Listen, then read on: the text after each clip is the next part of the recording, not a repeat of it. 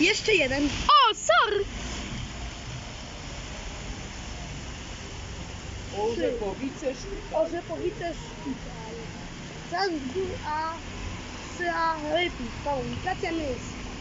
Chyba się wgina ten przegubus.